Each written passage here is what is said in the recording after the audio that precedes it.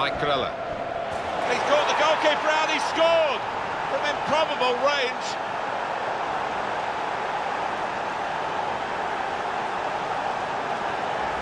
And I cannot believe he took that.